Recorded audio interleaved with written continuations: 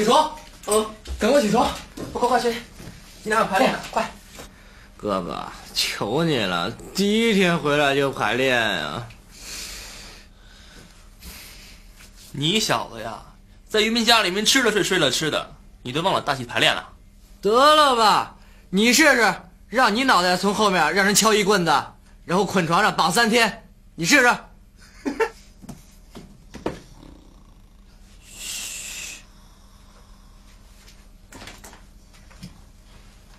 师今儿个怎么了？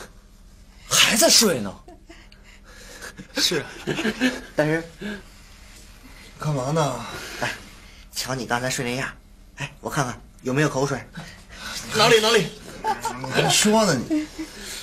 呃，我正忙着在海边大酒店吃海鲜，哎，整整一大桌。我刚要拿起一只龙虾，就被你们给吵醒了。你，对不住了，怪你啊！行，您接着吃吧。还笑还笑啊！你们一个个出去胡吃海塞啊！昨晚还一个劲儿聊海鲜。哎呀，真是饱汉子不知饿汉子饥呀！你快起来吧，你来快起床吧，你起吧。起。哎呦，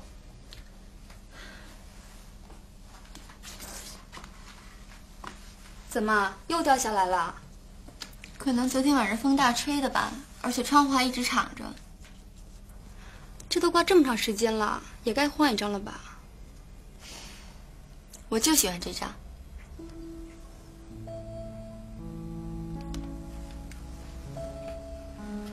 爱童，其实这次我带吴思去海边，你们俩怎么还没去吃饭啊？再不去就赶不及上课了。喂，在哪呢？什么地方？哎哎，同学，请问一下，表演系主任办公室怎么走？系主任啊，那儿，谢谢啊。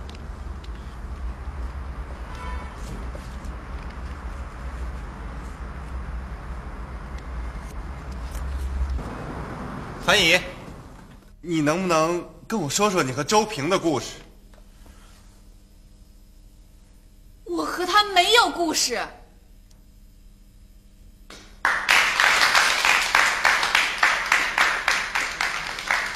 好，非常不错，你们下来休息吧。今天 B 组的表演进步很大啊。A 组，编剧樊怡上，不错啊。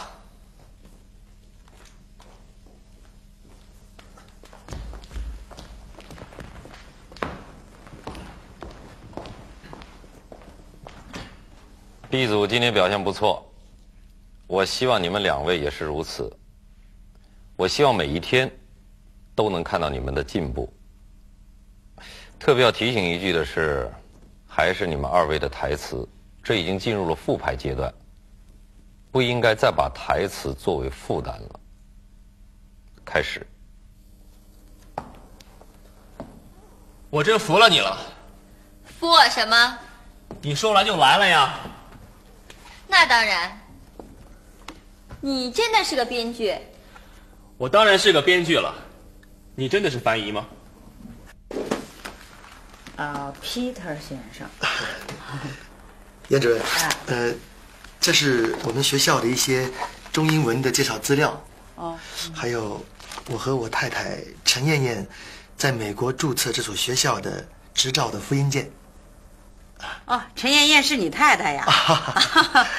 我这次回国考察，主要是想联合这里最优秀的影视学院表演系，共同开发国际培训和一些影视表演方面的研究。你们你你们觉得有什么不舒服的地方？你们自己给说出来。就上午排排那么长时间吧，你不在这个人物里面。我上午就真是找不着感觉。啊。我觉得你看我的妻子在后面睡觉。听说主任又要来这上午一趟，下午又一趟，对呀，有点不对劲儿了。对呀，就是这样，发泄。跟主任一块来的那个假洋鬼子呀，中午的时候，我在校门口倒是见过，神秘兮兮的，也不知道要干什么。所以要多看点。搞不好啊，可能是戏里的头对咱们这个大戏又有什么意见？哦，谁知道啊？就是一定要在这个人物。那个严主任来。哦，安老师，哎，好了，我介绍一下。哦，啊，这位是美籍华人 Peter 先生，这是安然老师。啊，你好，安老师。久仰久仰。啊，他也是陈艳艳女士学校的负责人，也是陈艳艳女士的丈夫。哦，是吗？啊，老师，这是我的名片。不知道这个人是干什么的，不是演出商吧？我觉得不是，倒挺像星探的。可严主任还一直陪着，应该没那么简单吧？我怎么觉得这气氛好像有点紧张？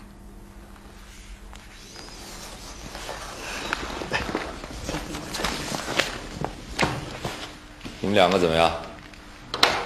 呃，不好意思啊。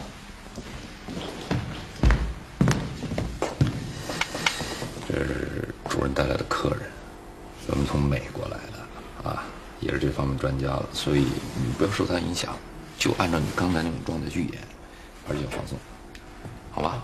我们试试看，我们从就开始啊。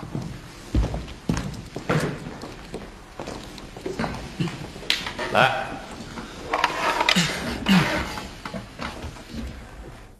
可是我真的没听说过什么雷雨。没关系，这是一本雷雨的剧本，你看一下。好啊，这个我拿回去看。现在我们是不是该做些我们之间该做的事情了？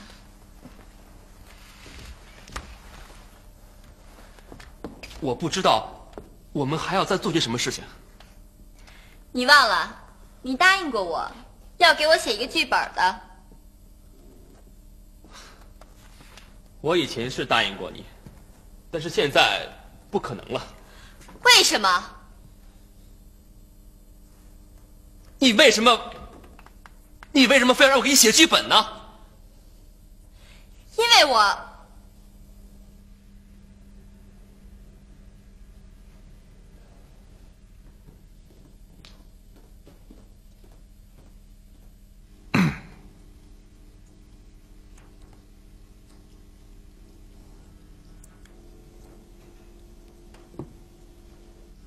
怎么回事啊？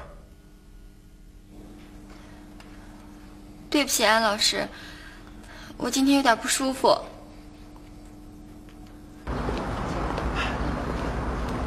来，来吧，来吧。安然老师，我很佩服您的教学。没那么严重吧？说心里话，今儿下午那堂课，哦，我知道，我知道。从结果来看，两个学生的表现并不是他令人满意，这很正常。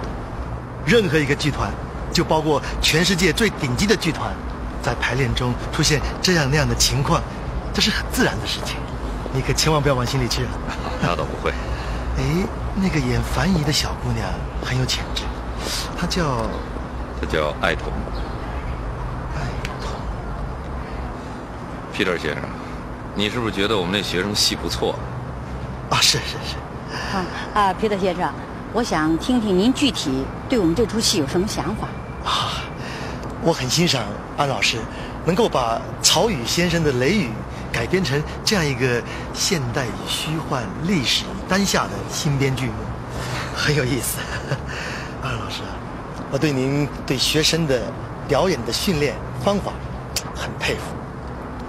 你不是墨守成规的去教他们怎么做，而是激发他们的想象力，演出他们自己心目中的剧中人。这点正是我在美国影视学校一直追寻的一个教学的目标和方法。皮特先生，您太夸奖了。皮特先生，嗯，这也是我们教学进行尝试的一种探索。不过，我认为对于经典话剧的改编，还是需要慎重。啊 不，严主任，这出戏最让我感兴趣的就是这一点，它不同于一般的时髦的现代戏，把经典整个来一个颠覆和解构，而恰恰是抓住了经典的核心，用现代人的视点，多层面、多角度的呈现给观众，又和现代人的生活困境结合在一起，这一点非常的了不起。皮尔先生，你要是再这么把我夸下去，我可就受不了了。听了一个下午的课，我的心情很不平静。哎，如果可能的话，我想把这个剧带到美国去，带到纽约一年一度的国际学生戏剧节上，让他们看一看我们中国影视大学表演系的学生把握舞台剧的水准。皮特先生，如果这件事情真能够成型的话，我相信这件事情对我们系和我们院都是一次很好的提升的机会啊！你们知道吗？在这个戏剧节上，有很多好莱坞的影视公司的经纪人在找新星，这可是个很好的机会啊！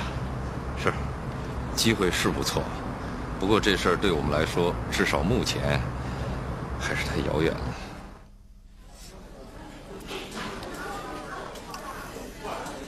哎，我给你们做一个小测试吧。看看什么样的人让你们一见钟情？好啊，你快说。假设有一种新款的扑克牌，除了有原来的红心、方片、黑桃还有草花以外，我让你们要增加一种新的图案。增加新的图案？对。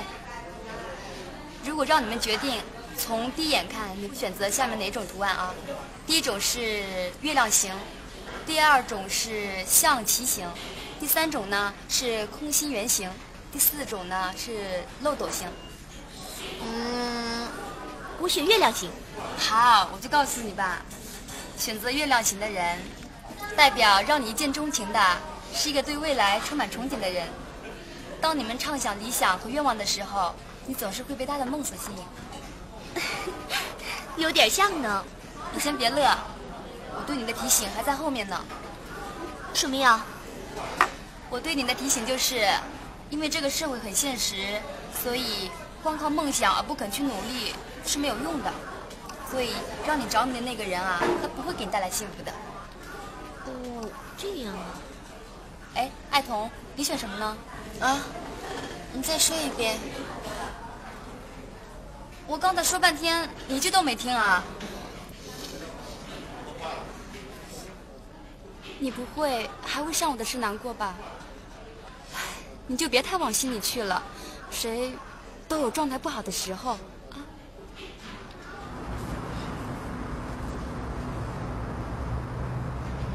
你们到底想干什么？还是不是表演系的学生？安老师，我们没什么事儿啊。还没什么事儿呢？你们在舞台上干什么呢？啊？谁的眼睛也不看谁一下。演戏，两个人眼睛都不交流，那叫演戏吗？回去过家家吧。拍着大戏，从一开始到现在，你们这别扭就没断过。你们的别扭就永远是搬在舞台上，影响的不是你们两个人，你们把全班的同学都给影响了，知道吗？安老师，我们错了，你别生气。我们回去好好反思，会做好的。我们下不为例。我愿意相信你，下不为例。我也不愿意一个问题不断的重复。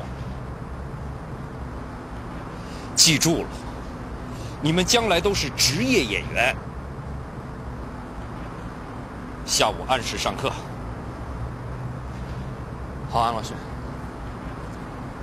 我先回去了。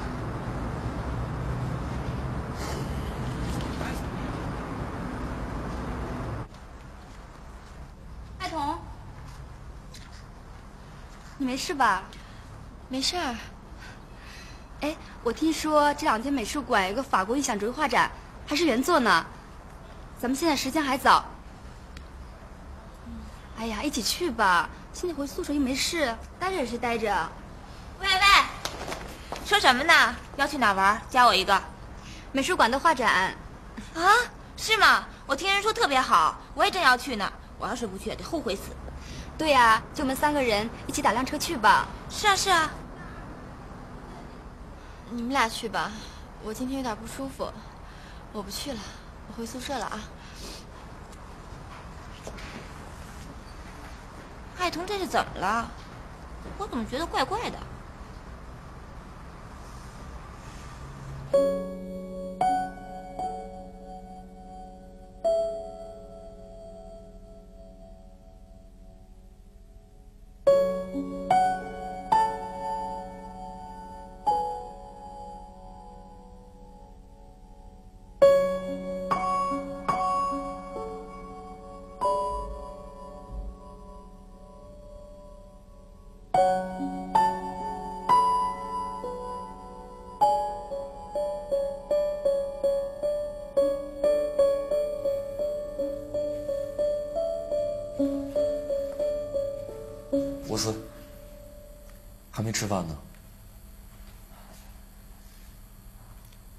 海平啊，你说我是不是不适合做演员？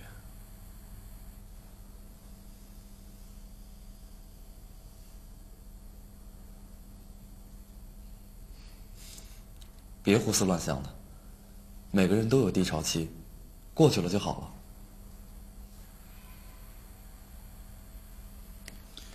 对了，你还记得上次我和娜拉演那个对手戏吗？我们俩怎么演都进入不了角色。啊，就是那次娜拉把脚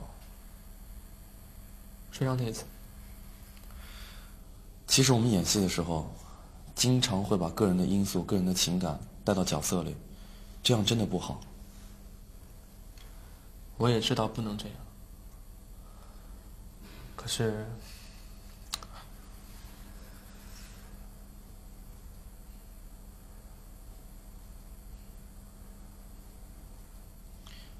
对了，我有一件事情想问你。如果你方便说的话，你告诉我，你和爱童没事儿，我知道该怎么做。走，你陪我去坐一会儿吧。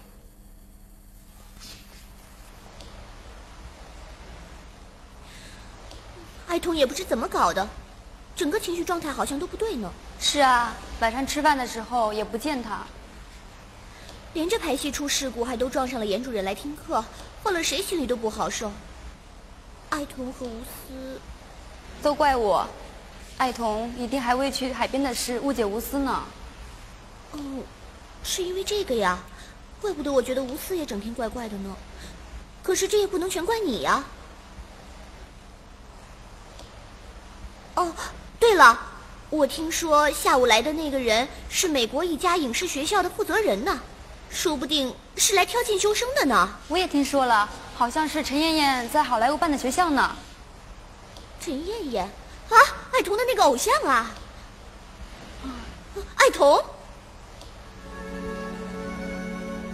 爱童，你怎么我一个人在这儿啊？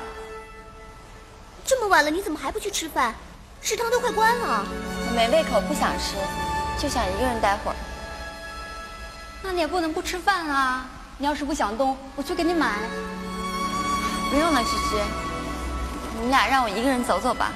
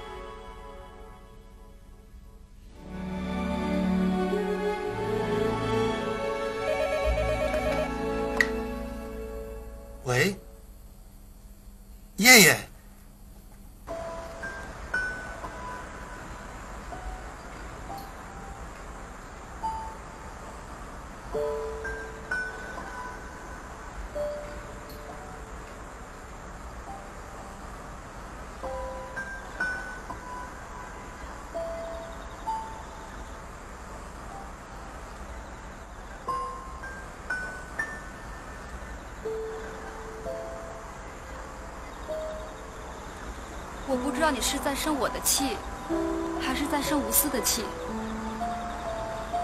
其实，他在我外婆床前讲的话，是想讲给你听的。是他跟你说的吗？我知道的。有些话，他想讲给我听，完全可以自己来找我。可是你给他机会了吗？还有这个，这条项链。你知道对他来说是意味着什么吗？你说不要就不要了。正是因为他重要，所以我才不能随便接受。爱童，你跟吴思都是我最好的朋友，你不要自己骗自己了，好不好？如果你真的不想伤害他，真的想把这台大戏排下去的话，你就收下他吧。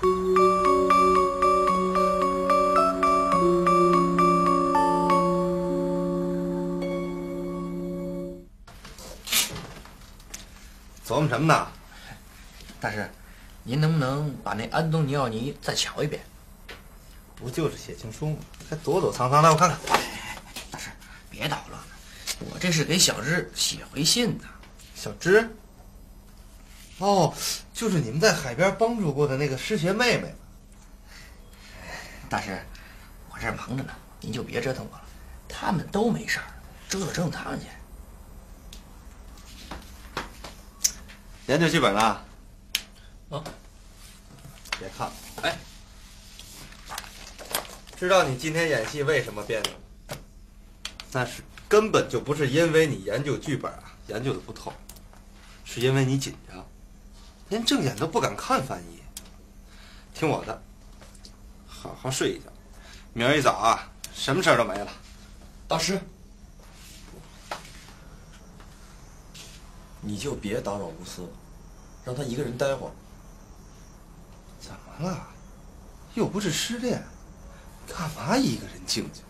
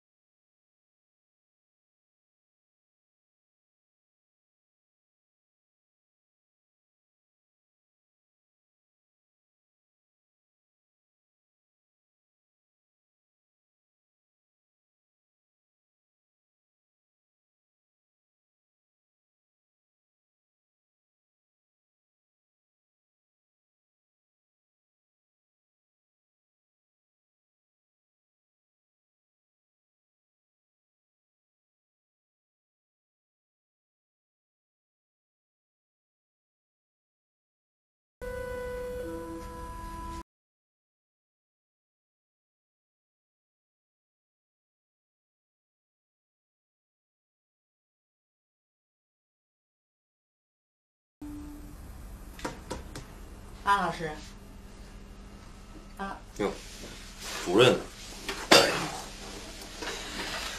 怎么了？你这一夜都没回家呀？啊，都要上课了。那可不是嘛。哦，这几天排练效果一直都不是很理想，就是昨天晚上加了个班，同时出了几条方案，想今天一起来试一试。安老师，你太辛苦了。我看主要问题还是出在我自己的这个本子里。啊，说句实在话，安老师，自从皮特先生来完看了你的课以后，对你的课大加赞赏，我才意识到，其实我对你这个大戏啊，有点成见。主任，快别这么说了。安老师，以后在排戏上如果有什么困难，跟戏里提出来，戏里一定会帮助你解决的。我心里有数，校里、系里对我们一直那么支持，这事儿做不好，咱也过不去啊。那我上课去了。行，好吧，嗯，我去了。我昨晚上不是跟你说了吗？只要心态摆正了，肯定没有问题。你倒好，昨晚上又熬了一宿啃剧本，这会儿反而没精神了。还好吧？还好。我的话你就是不听。我告诉你，这时候啊，越是紧张，越是容易到关键时刻你就罗三儿。我刚去剧组拍戏的时候也这样，后来撒开了，反而轻轻松松，一下子就找着感觉了。现在我不是因为紧张，我是也是你呀、情况还不太一样，主要是感情问题没有解决，这个我就没什么办法了。说曹操，曹操到了还。你忘了，你答应过我要给我写剧本的。剧本，是，我曾经答应过你，不过现在不可能了。为什么？你们两个先停一下吧。啊，不是你们的问题。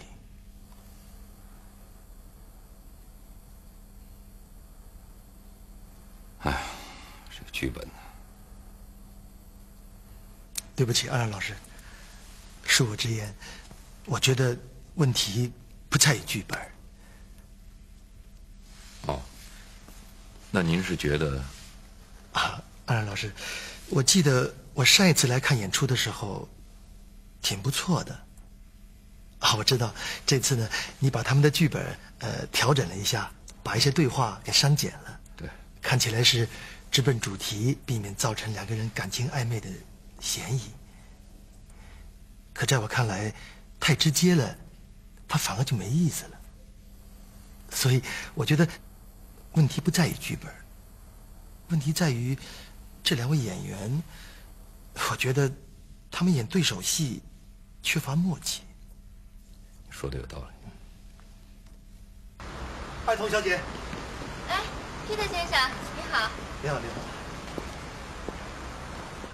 首先，我想向你道歉。刚才我在课上批评你们的配合，但我觉得你在表演上很有天赋。谢谢。记得我第一次来你们班听课的时候，你的某种气质让我觉得特别的亲切，吸引我。后来我终于发现，你真的很像我一个身边最亲近的人。是吗？您您不会说我像你女儿吧？哎，呃，吴同学，我刚才还跟爱童聊你们的表演。其实我觉得你们两个单独的演技都很不错，只可惜一演起对手戏来，总觉得有些别扭。我觉得你们两个是不是在配合的时候有点……对不起啊，我还有事，我先走了。啊，我是不是让吴同学不高兴了？啊，我真的是就事论事，我根本就不想为难谁。你别管他，他就这脾气，待会儿自己就好了。您别介意啊。哎，爱童小姐，嗯，我想请你一起去喝茶聊天，如果你有兴趣的话。那好吧，反正我现在也没事儿。走。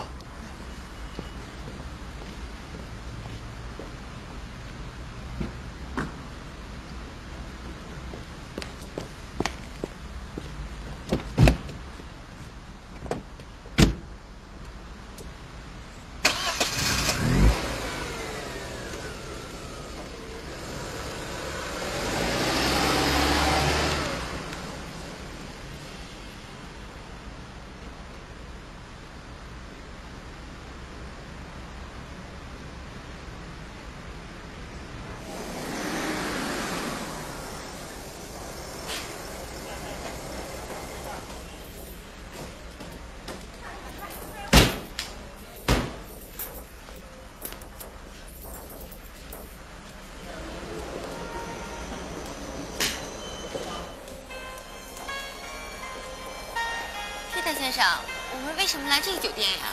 我住这。哦。有件东西想让你看看，在我的房间里，一定会让你惊喜。走吧。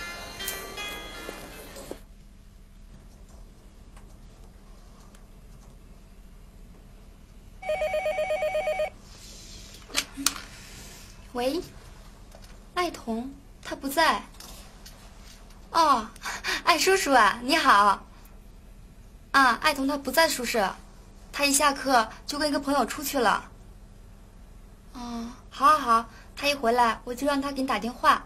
嗯，行，再见，艾叔叔。怎么了？爱童爸爸来北京了，可是打他电话总是关机状态。也许是手机没电了吧。可是。我怎么有点不放心呢？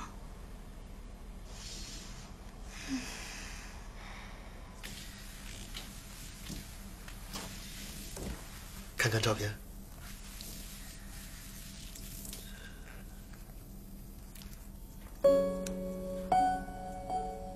陈燕燕，你怎么知道我的偶像是陈燕燕？那天晚上，跟你们的严主任还有。安然老师一块吃饭，顺便聊起你们班同学，安然老师告诉我，我太太很受大家的欢迎，特别是一个叫爱童的女孩，更是把她当做偶像。您您太太是陈燕燕？没想到吧？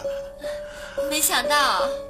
她就是我跟你说过的，我身边最亲近的人。不知道为什么，从你的身上，我看到他年轻时候的样子。您太夸奖我了。其实我从小就特别崇拜陈女士。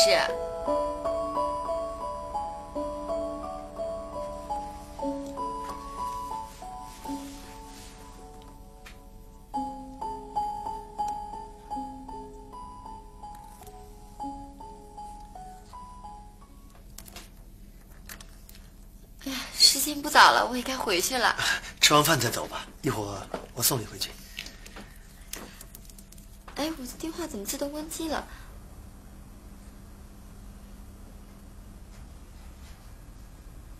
喂，爸爸，爸，你怎么来啦？怎么，不欢迎爸呀？会呢。周末有个展览会在北京举行，我就提前几天回来看看你。怎么样？还有两个月你就大学毕业了，有什么打算？爸，咱们今天不谈这个问题好吗？头头，你还记得你来北京上学前的那个晚上，咱们两个的谈话吗？我当然记得了，可到现在我都觉得我的选择是正确的，而且我也很有成就感。可是我就不明白你为什么那么抗拒我做演员呢？我给了你四年的时间让你给我证明，可是直到现在，我也没看出来。你对我许诺的成绩，可是我那是……你先听我说完。我知道你很喜欢这个专业，所以，我不会强求你出国留学，或者回公司来帮我。爸爸只是想让你到上海工作，回到爸爸身边，所以，我已经在上海替你联系了一家文化机构，也是做影视广告方面的，只是从幕前走到了幕后。爸爸希望你好好考虑一下。如果你愿意的话，你现在就可以到这个公司实习，他们也很欢迎像你这样的人才。爸，你别说了，这不可能。我们班现在正在排大戏的紧要关头，我怎么可能走呢？而且，我们两个总也不见面，现在就不要吵了，我们改天再谈吧。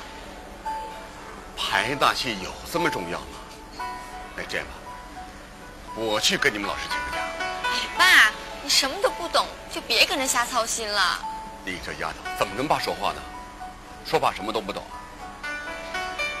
那好，我倒要看看你们的那个什么大戏，到底是什么东西。那好吧，那你明天来看，我一定要让你看看我没白学这四年。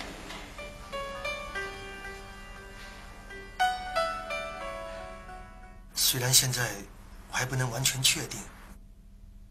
但是，我有一种强烈的感觉，他就是你一直要找的那个人。对。啊，你明天晚上来北京？提前了。好，我去接你。这样吧，等见了面，我再详细的跟你说。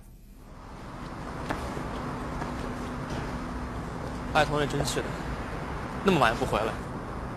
爱童。哎，爱童，你可算回来了，你跑哪儿去了？打电话你也不接，把我们都急死了。那个 Peter 没怎么找你吧？什么呀，想哪儿去了？我这不好好的吗？爱童，你爸爸来北京了，我到处找不到你人，他让你回来的时候啊，给他打个电话。我知道了，我就是从他那儿来的。哎，吴思，你过来一下呗，我想跟你说几句话。跟我？对啊，走啊！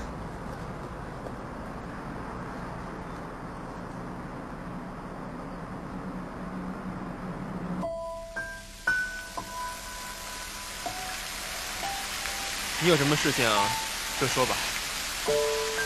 我想拜托你一件事儿。拜托我？嗯。其实今天排练失误，我有一大部分责任，所以我心里挺过意不去的。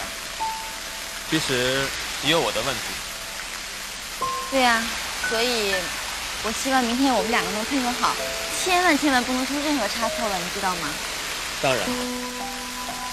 不过你叫我出来，就是跟我说说这事儿啊。对呀，实话跟你说吧，我爸明天要来看我们排练，所以这对我来讲太重要了，我一定要证明给他看，我学表演这条路是选择对的。你放心吧，我明白的。那谢谢你了。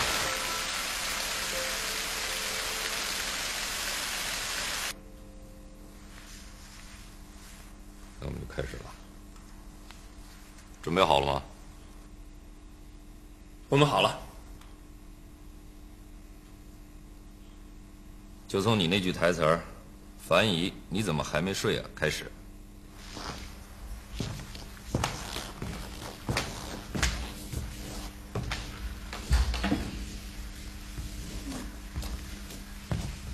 樊姨，你还没睡呢。我睡不着。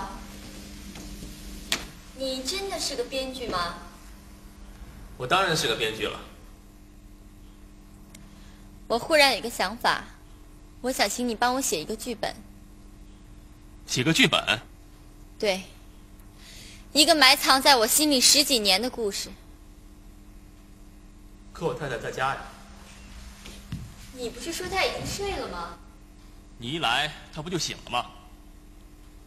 那好，三十五分钟之后，我在你门口等你。你打开门，我不按门铃，她就不会醒了。怎么？你真的要来啊？当然，只要你肯开门。我不信。你不会是真的，你不会来的。我在周家受了十几年的煎熬，如果我不是真的，我怎么会有那么多痛不欲生的感觉？我好像死过，又有人让我再生，然后再把我置之于死地。我心里有话说不出来，我就必须找一个人帮我写。如果你真的是个作家，我正好是你剧本里的一个真实的角色。相信我，我是真的，我的故事也是真的。你会相信我吗？你会到一个你不认识的男人家里面吗？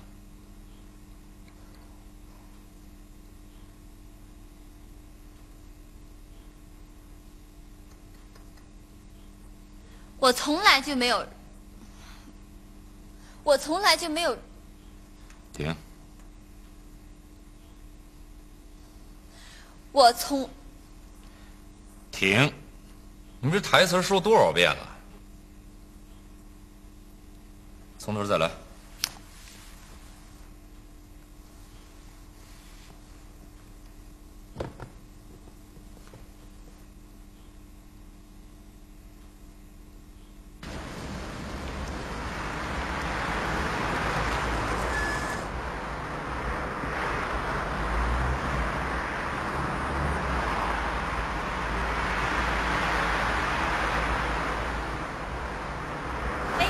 艾先生，你好严主任。哎，哎，师不是安排你看学生拍戏吗？你怎么走了？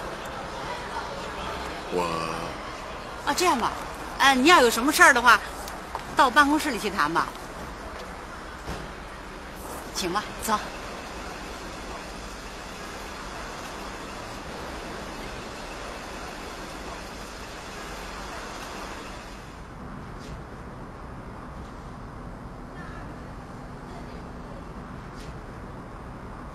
怎么回事啊？最基本台词都下不来，以前不是演过吗？这不像他们俩的水平啊！这根本不是技术水平的问题，是他心里的结没打开，这样下去肯定不行。我看这回啊，安老师也没办法了，搞不好得换角色。啊？啊什么呀？马上公演了，这么重的角色，连台词都下不来，开玩笑呢。看来。现在不是别的问题，而是要考虑换人的问题了。艾先生啊，我给学生们排戏，经常会招点急生的，您别介意啊。理解理解。说句实在话，我如果一点不尊重他的选择，当初我就不会把彤彤送到北京来学表演。嗯，对不起啊，我不是对演员有偏见，我十分感谢这四年来你们老师对他的帮助和教育。不过，这条路他不合适。艾先生，我是他的表演课老师，在这方面，我应该比您更了解他。艾童是一个非常有潜质的演员，我不知道您为什么会对他走这条艺术道路那么的担心。谢谢老师的肯定，我们两个可能是彼此之间的立场不同吧。我很清楚，彤彤在这条路上走下去是很不现实的。为什么？对于这个行当，您肯定比我了解的多。但是一个好演员或者一个明星出现的概率有多少，我还是了解一下。就拿您这个班来说吧，十几二十个人，如果能出现一个大演员，那您就成功了。可是我只有这么一个女儿，我不能让她失败。做父亲的，对自己女儿的这种心理，我完全可以理解。艾童也曾经告诉过我，说您对她未来的期望，所以我今天来。就是来求你们帮我劝劝他。你们说的比我说的管用，艾先生。作为老师，我只能对艾童说：好好学表演。看来我们之间是谁也劝不了谁。